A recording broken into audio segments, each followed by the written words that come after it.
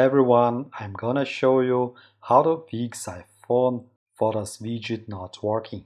The best way is to charge your iPhone overnight with the internet turned on.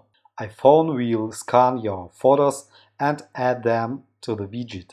But if you are impatient, you can try another way. Open the settings, select your iCloud account, tap on iCloud, next tap on Photos, and check that you have iCloud storage for photos. Next return to Settings, scroll down and find Photos application. Here we can turn on Photo Stream and next open cellular data and check that you have the internet connection for shared albums and iCloud photos. Also, you can reset suggested memories if the problem remains Next, hold on the widget, remove widget, confirm remove, and add it again.